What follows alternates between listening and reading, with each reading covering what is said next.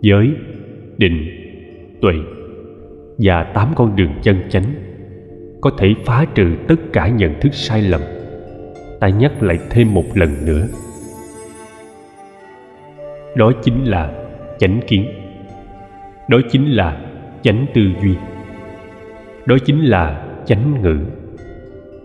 Đó chính là chánh nghiệp. Đó chính là chánh mạng. Đó chính là chánh tinh tấn. Đó chính là chánh niệm. Và đó chính là chánh định.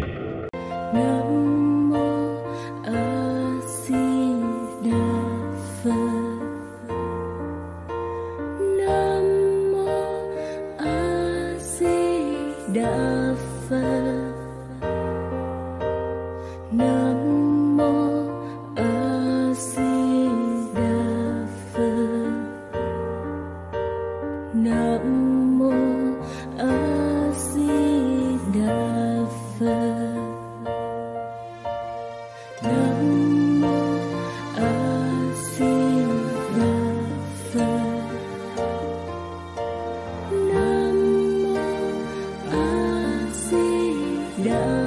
Là